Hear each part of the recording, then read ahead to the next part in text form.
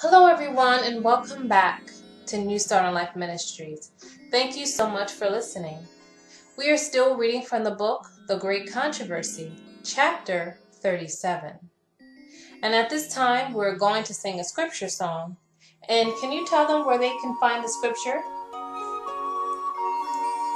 Exodus 14 14. Amen. Are you ready to sing that scripture song? The Lord shall fight for you, and he shall hold your peace.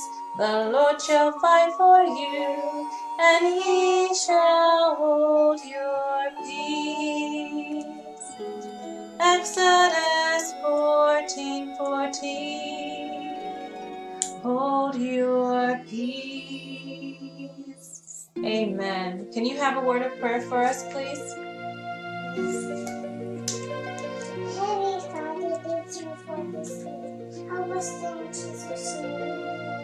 Amen.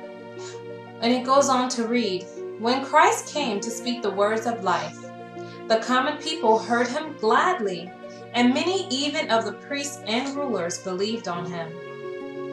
But the chief of the priesthood and the leading men of the nation were determined to condemn and repudiate his teachings.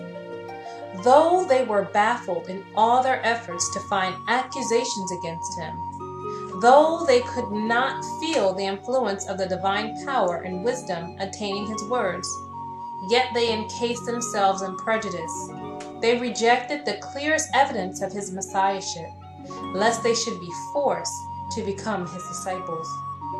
These opponents of Jesus were men whom the people had been taught from infancy to reverence, to whose authority they had been accustomed implicitly to bow. How is it, they asked, that our rulers and learned scribes do not believe on Jesus?